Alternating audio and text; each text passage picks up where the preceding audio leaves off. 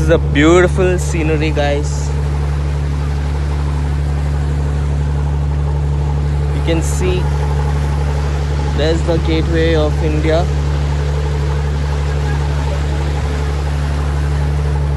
And uh, it's very fun over here. It's pretty hot, but uh, once we have entered the beautiful sea, it's become the cool breeze is falling on our face. We are loving it. We're enjoying it. Yeah, and we have many types of amazing ships here. Truly, guys. Yeah. So we are kind of enjoying very nicely. We can see more tourists over there.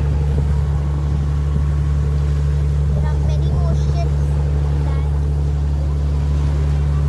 You can see it's like 33 degrees, but once we entered here, it's very cool, guys. You should come here. You should enjoy this place. I'll let you uh, have a try over here. Yeah, it's really cool. You should come and check out this place. Yeah. So that's for all now. Thank you. See you next time. and stay tuned on Mumbai Mumbai Sibling. Sibling.